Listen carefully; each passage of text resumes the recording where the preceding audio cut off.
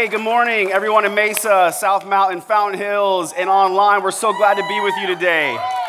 What you just saw was a little Kingdom Builders update, and it's a time of the year that we talk about Kingdom Builders again. Before I get into my message, I just want to update you on our Kingdom Builders rhythm and what we do. What we are experiencing right now is an incredible season of expansion and growth, and God is the one adding to our number those who are being saved, as Scripture says. Amen. We have been going through an incredible time when a lot of the world has been kind of re- re- uh, retreating and pulling back. We we've been seeing God's kingdom advance here at Generation Church, and it's because there's a lot of faithful people in this church who are filled with faith and living for the Lord.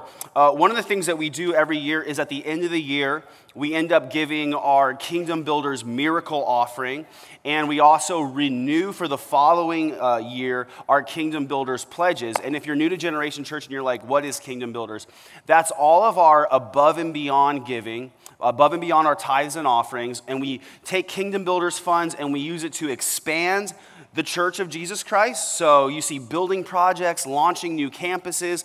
We've got all that going on right now. It's to send out missionaries who preach the good news and do outreach in our community here locally.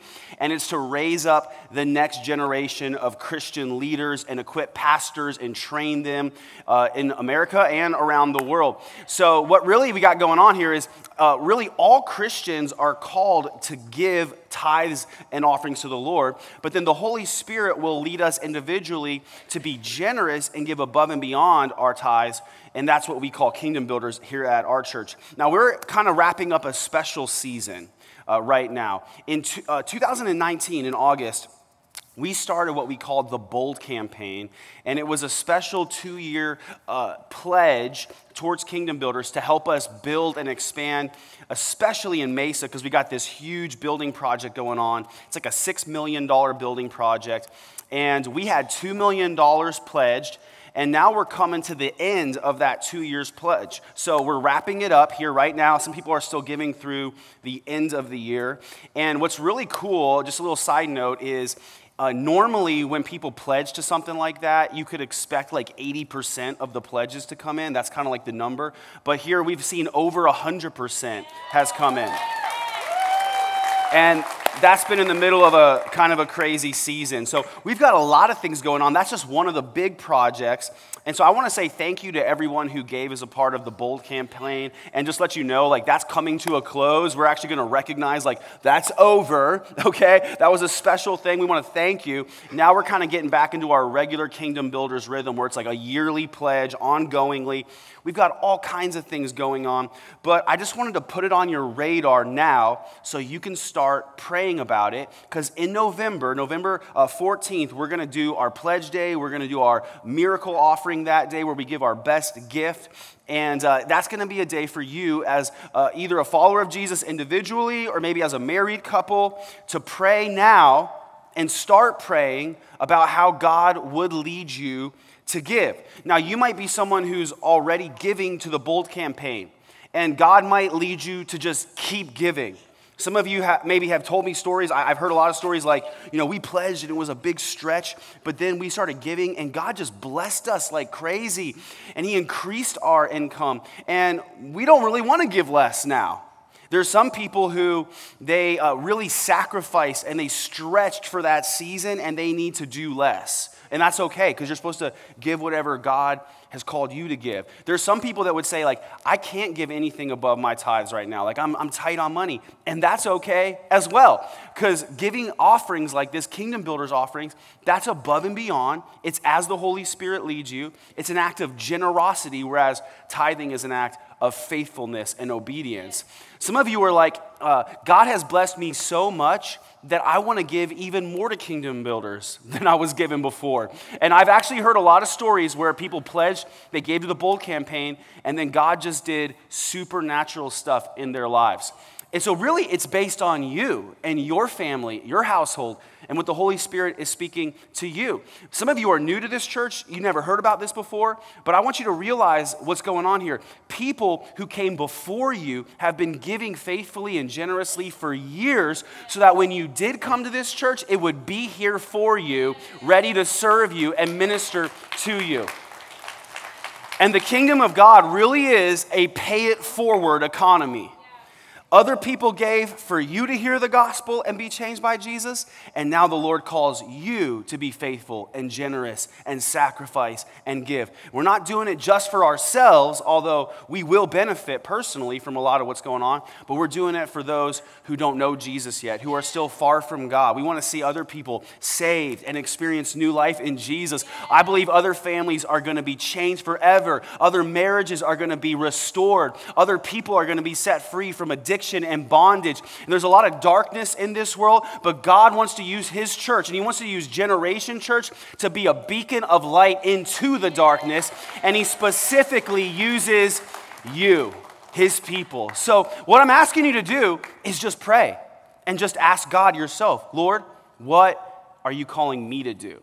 What are you calling me to do? And when you leave today at all of our campuses, we're going to pass out these Kingdom Builders pledge cards. And all I'm asking you to do is just take it home, uh, put it somewhere that you'll see it for these next few weeks, and just have it on your mind, in your heart, to just pray about that. Lord, what are you speaking to me? Not what is Pastor Ryan saying, but what is the Holy Spirit saying? If you will listen to God and do what He says, you will be blessed. You will be blessed. So let's be praying for that and let's believe for God to do great things. Amen. Amen. I love my church. Well, we are in a series called Life After Death. And week one, we talked about heaven. Week two, we talked about hell. Last week, we talked about the end times and the return of Christ.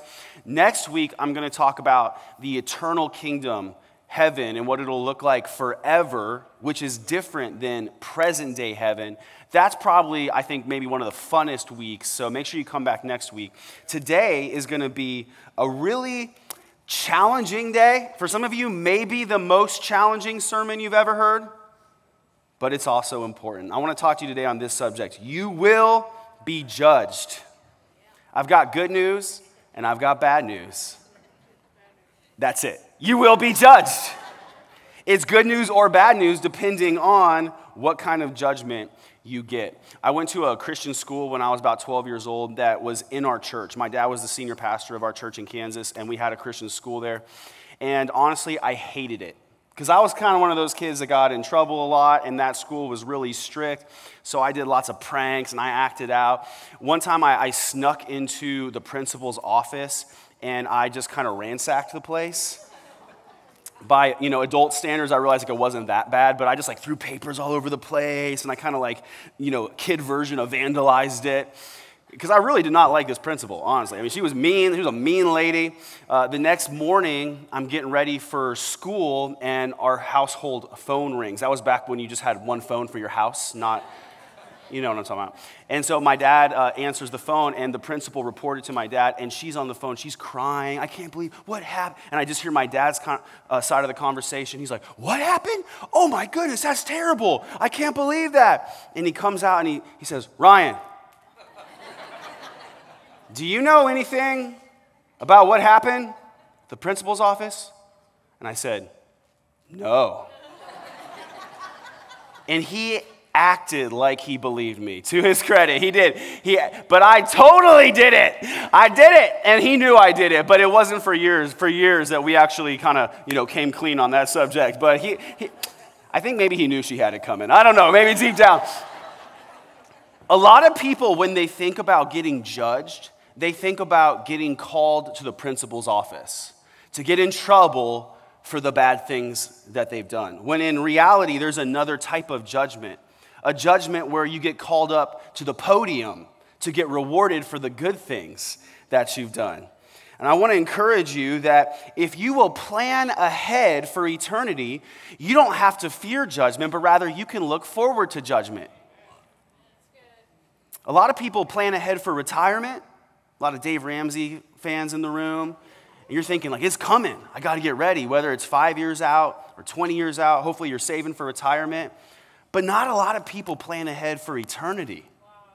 And that's what you really need to be concerned about and focus on because eternity is forever.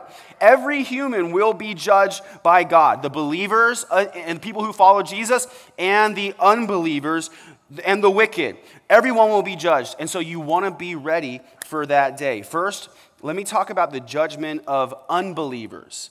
What the Bible often calls, and what the theologians who, who study these things call the great white throne judgment. This is the scary type. This is the one you don't want to go to. This is the one we want to avoid. This is the thing that we kind of fear when we think about judgment. But here's what the Bible says in Revelation 20. It says, Then I saw a great white throne, and him who was seated on it. The earth and the heavens fled from his presence, and there was no place for them to hide, is what it means.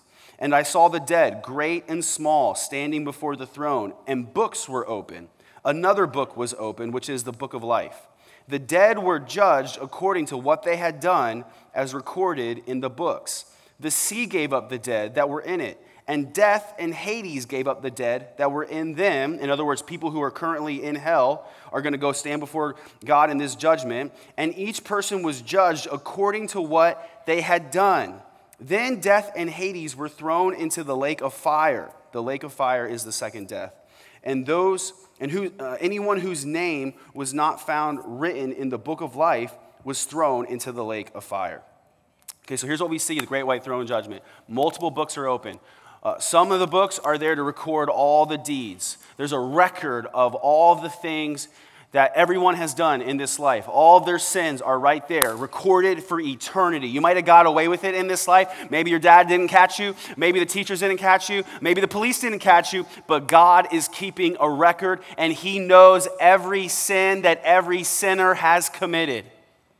And then there is another book that's open, the book of life, where the names of those who have placed their faith in Jesus Christ, their names are recorded, those who are being saved. And here's what I think is going to happen the, the angels will probably be there, and they're just going to read out the list of sins when it's each person's turn to be judged. They did this, and they did this, and they did this. And there will probably even be some people there that'll protest, like, but I did good things too.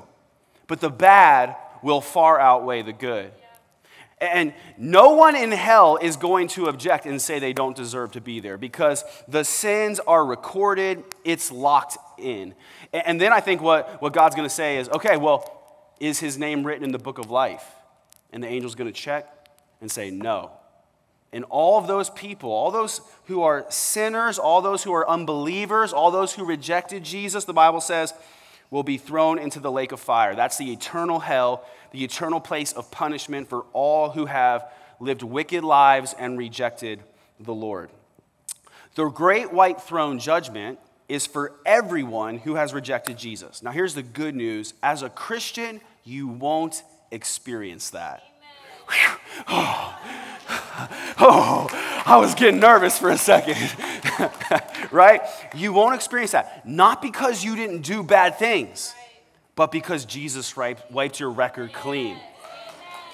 Because your names are written in the book of life. Christians, we're saved by grace through faith in Jesus. It says that in Ephesians 2 8. For by grace you have been saved through faith. This is not your own doing, it is a gift of God. So it's not because you were a good person or because you were good enough or because you chose the right church. It's because Jesus died for your sins. He wiped the record clean and he set you free. It's a gift. Thank God for salvation. I didn't earn it. I don't deserve it. I just receive it as a gift and I give God the praise he deserves because he's good. Amen. So, what's amazing about this is we don't just get saved from our bad deeds, but through Jesus, Christians will also get rewarded for good deeds. There's another type of judgment, and Jesus expects you to do good. We're saved by grace, not by works, but grace works. Do you realize this? So let me go to the next type of judgment. This is the kind that, that I hope you will all experience the judgment seat of Christ. And it says this in 2 Corinthians 5, verse 7. The Apostle Paul is writing to the Christians in Corinth, and he's talking to them about life after death. He says, For we live by faith, not by sight. In other words, we're living for something greater than that which is right in front of our faces.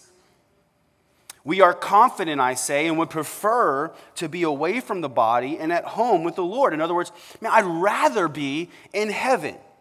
So we make it our goal to please Him. Look at that. I'm thinking about heaven, and so I'm making it my goal not just to get caught up in the things of this world and day to day what I got to do, but I'm living to please Jesus. I'm not just trying to get into heaven. I'm trying to actually please Jesus with my life. So here's what it says We're trying to please Him, whether we are at home in the body or away from it, for we must all appear before the judgment seat of Christ. He's talking to Christians now. He's writing this letter to Christians, and he's saying, We must all appear before the judgment seat of Christ. So, you as a Christian, you will be judged. You will be judged. You see this? So that each of us may receive what is due us for the things done in this body, whether good or bad. So you're going to get your due. It's going to come from Jesus. I want to talk to you about the judgment seat of Christ. This is going to be a challenging sermon for some of you. This is the judgment that all believers are going to experience it. It's not getting called into the principal's office to get in trouble for the bad things you did, but it's getting called to the podium to get rewarded for the good things that you've done. It's going to be a good judgment. It's just going to be better for some than others. So I'm going to make some points here. If you're taking notes, you can write these down. Here's the first thing all of your life will be judged by Jesus. All of your life will be judged by Jesus. Christians sometimes have a false assumption that your choices in this life will not matter in heaven. Sometimes Christians think that what they do in this life will have no effect on heaven. And that's not accurate. Now, when we get saved, it changes our status from sinner to saint. We go from being an enemy of God and we become family of God. Amen? Our sinful past gets wiped away. So, the judgment seat of Christ is not a courtroom uh, God is not going to punish you. Jesus is not going to condemn you. It says in Romans 8 1, there is therefore now no condemnation for those who are in Christ Jesus. There's no condemnation for those who are in Christ Jesus. So when you go to the judgment seat of Christ, you will not be condemned. You will not be ashamed. You will not be humiliated.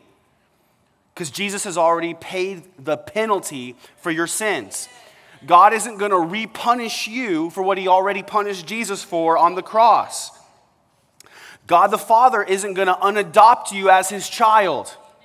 You're not going to lose your citizenship in heaven. So, so if you've placed your faith in Jesus, you're saved. But this is to determine the reward that you will receive in heaven. Remember it says this, 2 Corinthians 5:10, we must all appear before the judgment seat of Christ so that each of us may receive what is due us for the things done while in this body, whether good or bad. So Jesus is going to judge us. That's why we don't need to judge each other. Because Jesus is going to judge us. When we think about this passage, talking about, you know, we're going to be judged for the good we've done, good or bad, there's, there's another false assumption. It's that there's no crying in heaven. I think there will be some crying in heaven. There's going to be tears of joy. You're going to be like, whew, I made it. You're going to be like, man, God is so good. This place is amazing. It's so good to see Jesus. But I, I also think this, and I, I believe this, is my opinion, that before the judgment seat of Christ, there will also be tears of regret.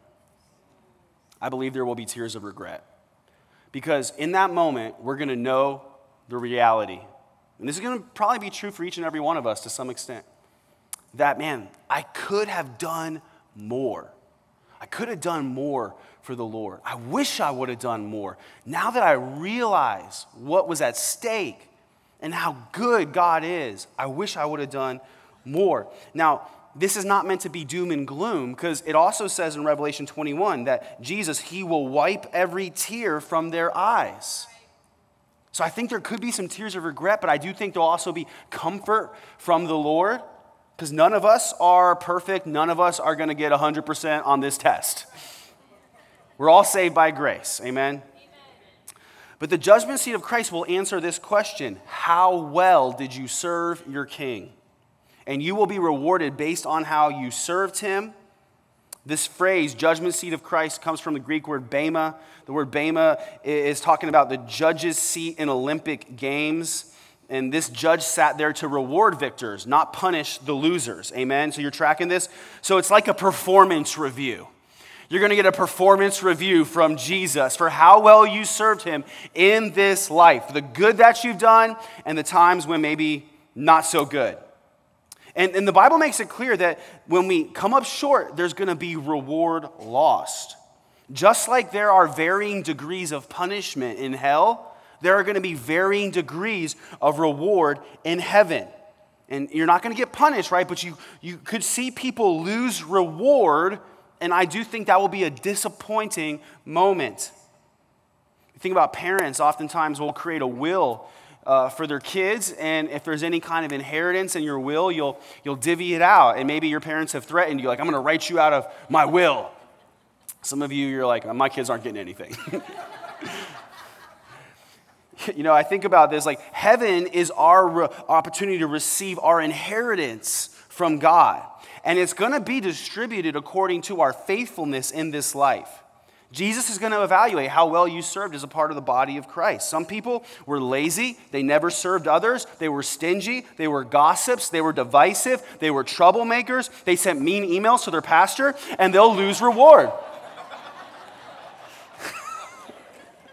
While others who were faithful will receive great reward.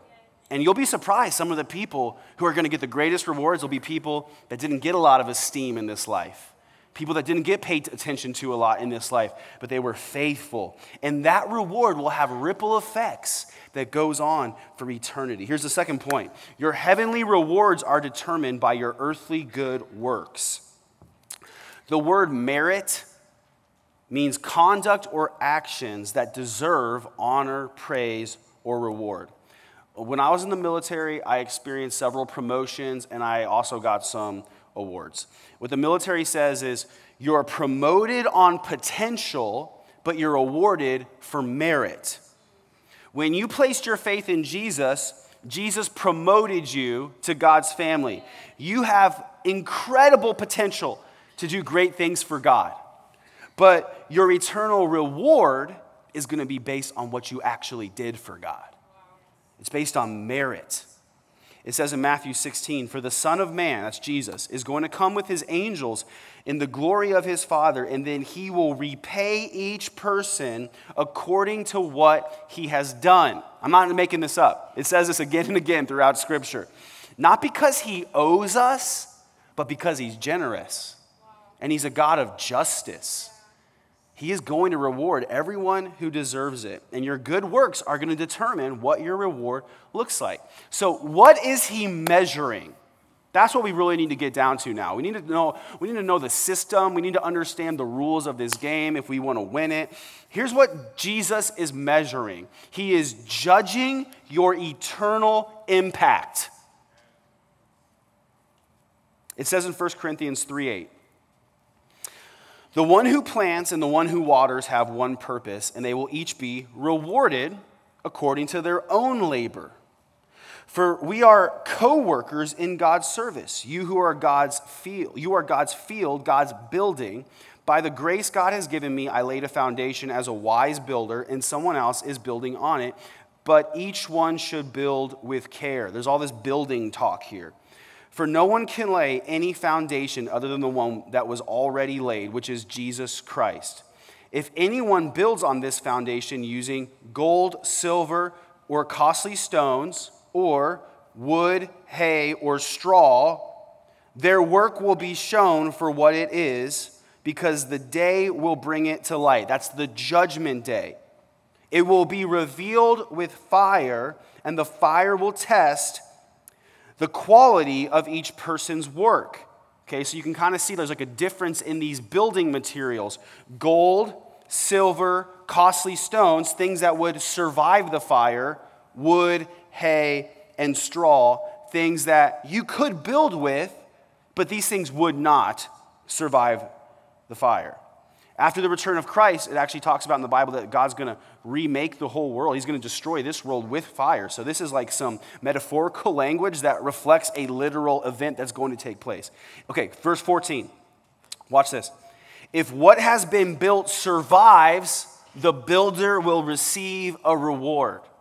If it is burned up, the builder will suffer loss, but yet will be saved, even though only as one escaping through the flames. So there are some Christians, okay, I'm just based on stats, based on numbers and the law of averages, like there are some people who are even probably going to go to Generation Church and they're going to worship God, but they're going to build only with wood, hay, and straw. And I'm going to see you in heaven, but you're going to be there like eyebrows singed off, just the shirt on your back, like, I made it, but just barely.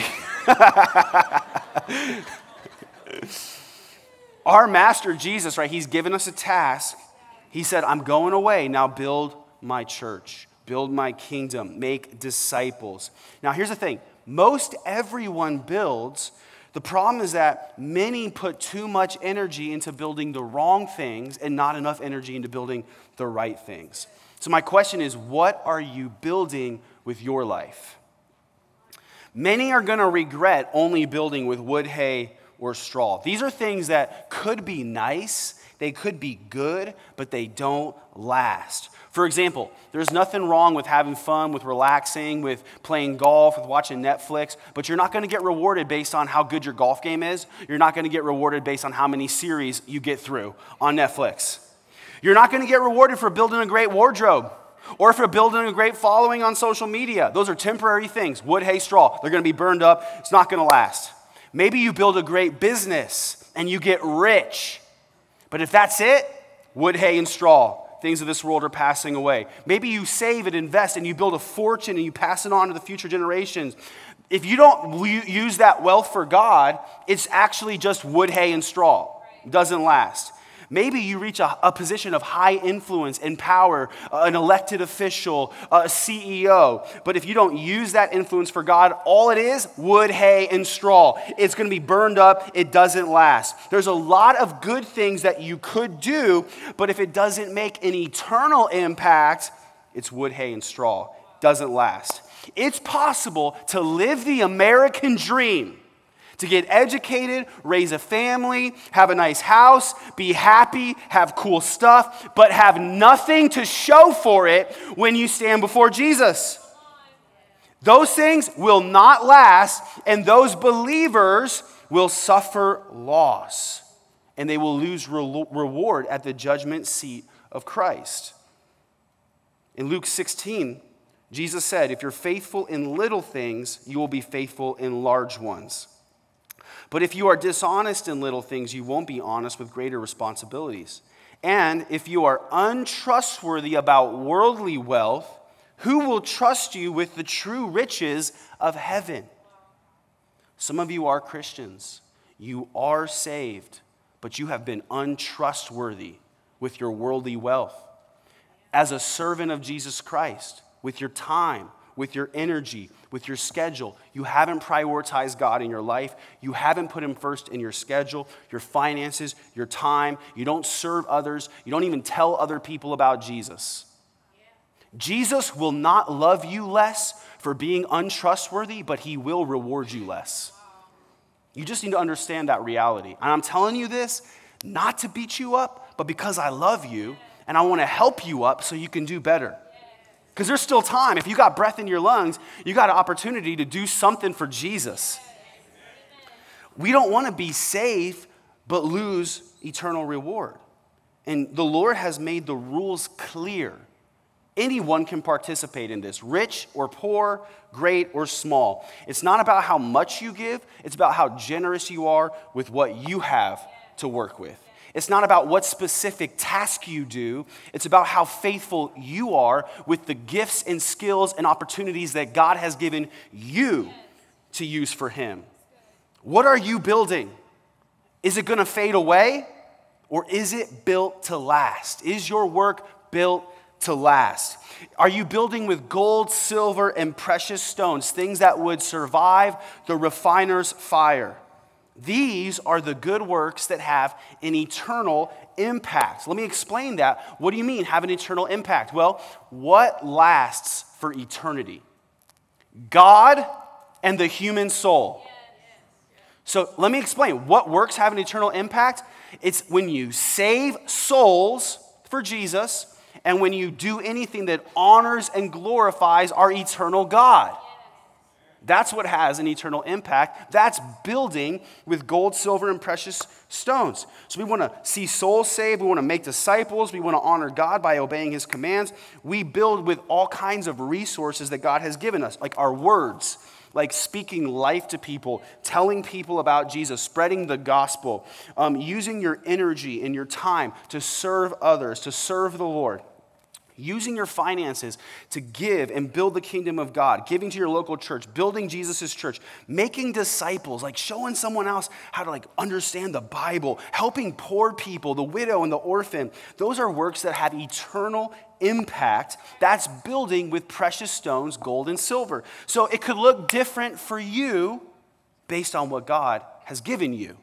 You could be a stay-at-home mom and yet you could be building with gold, silver, and precious stones if you're raising up kids and you're teaching them about Jesus and you're prioritizing bringing them to church and showing them how to live for the Lord, that's gold, silver, precious stone stuff right there. You could be a dad who leads his family to the Lord, who leads his family in the process of serving the Lord. You put church first, right? You don't just stop going to church when football comes on. You keep going, right? Like you lead your family in this. And you know, like if dad serves the Lord, the family is 97% likely to be saved and also serve the Lord. A lot of the stuff that doesn't get a lot of applause is going to be actually gold, silver, and precious stone stuff. Man, like the people on stage on Sunday get a lot of applause, but also the people changing diapers in the nursery. That's gold, silver, and precious stones right there. The person who mentors other Christians to grow in their faith, maybe leads a life group, serves others, that's building with the things that last. The person, watch, in the secular world, right, outside of church, you could work hard at your job, you could build a business, and then faithfully use the profits not just to enrich yourself, but to build the kingdom of God. That's investing in eternity, and that investment always gets an incredible return using your finances to reach more people with the gospel. Um, I, mean, I even think about this. A lot of people, like when you think about creating a will and, and, a last will and testament for your, for your kids, maybe giving them an inheritance, like my goal as a dad is to leave some kind of inheritance to my kids, but also give a percentage of what I have to my church. So that what I did in this life will keep impacting eternity even after I go into eternity. Amen? I'm just kind of hedging my bets there. See, all your good deeds are going to be recognized and rewarded, not just by a pastor, who cares what a pastor thinks, but by Jesus. And there will be an incredible award ceremony. It's not even just what we do, but it's how we do it and why we do it. Your attitude also matters. Were you doing good things but needing to get recognition and applause from people all along the way. Because let's be honest, there's some of those people. Did you all see what I did? I'm pretty sure you did because I posted about it. Wasn't that great? Wasn't that great? Pretty great, right? And, and what the Lord says is you can do that, but you've already received your reward. But the person that says, man, I'm just going to labor for the Lord in private, sometimes in secret, Sometimes I'll get appreciation, but other times no one will even know about it. But Jesus knows about it, and He will reward you for it. Your attitude, and also eh, these things are relative. So, man, there are some people who, who giving $20 might be more generous than someone else who gives $10,000. You, you could be poor and like the widow who gave her last two coins. And then you could have another guy who's pouring gold in the treasure chest, right? And Jesus say, man, this widow gave more than this rich guy who gave so much because she was more generous with what she had to work with. The Lord is so just in this. And what I want, just as your pastor, is for your day at the judgment seat of Christ to be an amazing day. I, don't think any of us are going to get awarded for being perfect. Only Jesus is perfect. But I want it to be a great day. It says in Hebrews 6:10, God is not unjust. He will not forget your work and the love you have shown him as you have helped his people and continue to help them. So there are some of you who have done things for the Lord and no one has ever thanked you for it. None of your kids maybe recognize how much you sacrificed for them. Maybe even the people at church just didn't know what you did to thank you for it. But I just wanted you to be encouraged that you will be recognized. And honestly, we spend too much time concerning ourselves with giving recognition and appreciation in this life, and we don't spend enough time thinking about the recognition and reward that's gonna come in the next life. Because that's what's really gonna matter. So if you think nobody sees, the Lord sees. In 1 Corinthians 15 41, it says this. This is interesting. The sun has one kind of splendor, and the moon another, and the stars another and stars differ from star in splendor. So will it be with the resurrection of the dead. What's this talking about? The sun is brighter than the moon, and the stars have a different kind of brightness. And what this is saying is that the resurrection of the dead, in eternity, some people are going to shine brighter than others.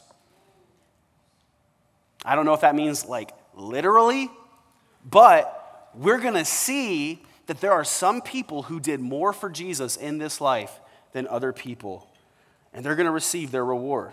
So I don't know about you, but I don't want to come before Jesus empty handed. I know He's not going to love me more for serving Him faithfully. He couldn't love me more than He already does, couldn't love you more than He already does, but He will reward us more for serving Him faithfully. So here's the third point. This is the last point.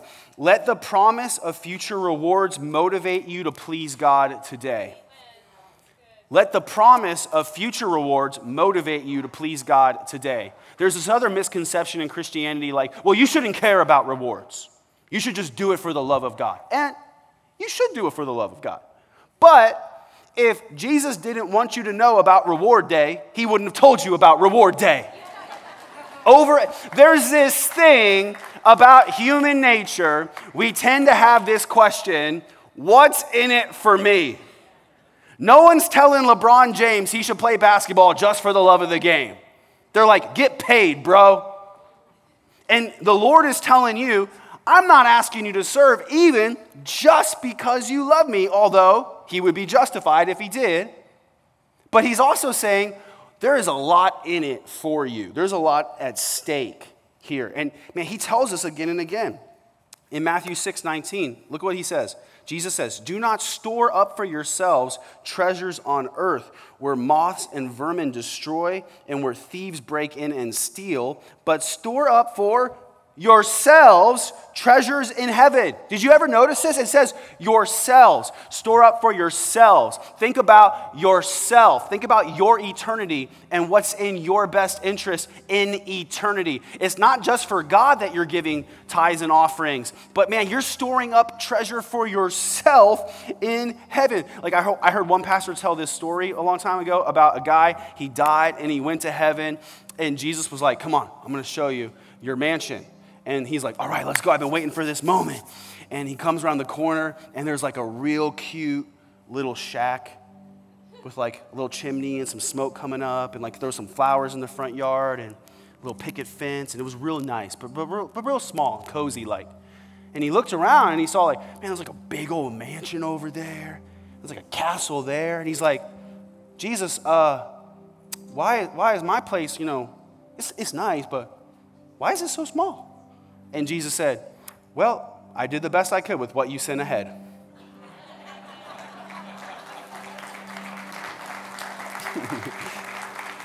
okay, but for real, that's kind of a silly, cheesy story, but for real, it's actually not a bad reflection of what eternity is going to be like. Like, you're not going to be sad to be there no matter what, whether you're in like a cozy little cabin or in a mansion, but it's gonna be better for some than others.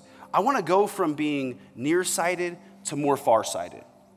Like when, when I was in the military, I got laser eye surgery, thanks to taxpayers, and uh, made it so I didn't have to wear contacts and glasses all the time. Because before that, you know, I could only really see clearly what was right in my own hand at arm's length. Beyond that, things were very blurry. You know, I was thinking about how so many of us were so nearsighted about our lives and what we're doing with our time and with our money and our priorities, and we just kind of see what's right in front of our face, and then we don't really think about what's ahead, let alone in eternity. I want to be responsible with what I have in my hands today in a way that it'll impact eternity and what I face forever, what I experience forever, the reward that we'll enjoy forever. See, a lot of times we have this misconception like, well, you know, if I give God these dollars, then I'll have less dollars. Or, you know, if I serve Jesus with this hour, I'll have less hours. But that's not the way it works. Right. Every dollar, every hour you invest into the kingdom of God is a finite resource that will be enjoyed eternally in heaven. It'll impact forever. You'll be enjoying that reward forever. I mean, I think about how funny it is. So many people, they look back and they say, I wish I would have invested in Amazon in 2007. Oh, man. Or now, now people are like, I wish I would have bought Bitcoin in 2012. Like, it's easy to look back in hindsight and say, that would have been so smart. But you want to be one of the people that, in the moment, takes advantage of the opportunity. Yeah. There's going to be a lot of people in heaven saying, I wish I would have done more for God. But man, you want to be one of those people that said, I did. Use what He gave me to the best of my ability. And I'm saved by grace, but I'm glad that I made the most of my opportunity. In Luke 14, it says, You will be blessed. Although they cannot repay you, you will be repaid at the resurrection of the righteous. And Jesus said in Revelation 22, Look, I am coming soon. My reward is with me, and I will give to each person according to what they have done. So, my question to you is what do you want your judgment day to look like? What do you want your judgment day to look like? First off, you don't want to be at the great white throne judgment.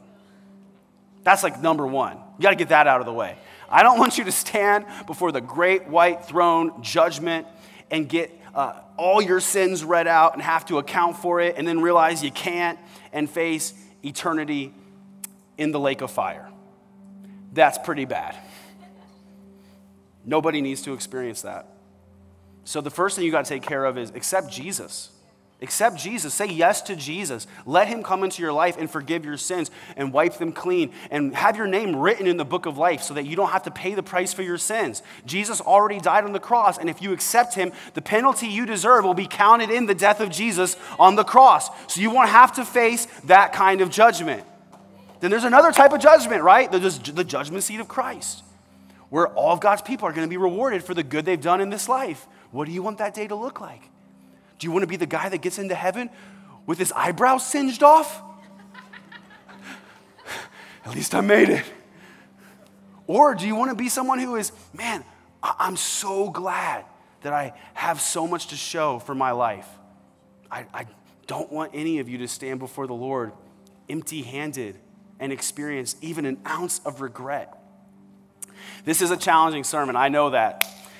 So, I pray that the Holy Spirit will help you to receive it in love and process it in the right way. And what I pray for you is that you'll make the most of every minute from this day forward. Think about eternity and what's at stake. Let's bow our heads. God, we thank you so much for your love. We thank you for Jesus. We thank you for salvation and that we don't have to face the punishment that we did deserve. We get to receive the inheritance that you deserved. We thank you for your love and your favor, God. I thank you that your love and your favor and our status as your children, it's not based on what we do. But Lord, we do recognize today that there is a reward that is based on what we do. And we're grateful to you that you laid that out for us so clearly in your word so that now we can do something about it. We can live as faithful servants who hear, Well done, good and faithful servant. I thank you today, Lord, for the person who needed a shift in their perspective from what's right in their hand today to how their impact will ripple out through eternity. We want to live for eternity. We thank you, God, for being with us right now. But help us to live for eternity and make the most of our lives. I want to just take a minute. If you're here and you need to accept Jesus, pray this with me right now. Just say, Lord, I ask you to save me. Forgive me of my sins. I believe you died on the cross for my sins so that I could be set free and redeemed. And I believe that you rose again so I could experience eternal life and live forever in eternity in heaven with you. I want to live for you now the rest of my days in Jesus' name. And with our heads still bowed, our eyes still closed, if you're a Christian, I want to pray for you right now. God, I pray for your people that within all of us, you will stir up a passion to live for you and to make the most of every opportunity. We pray, God, that what we do in this life will have a ripple effect on eternity. We pray this and believe for it in Jesus' name. Amen.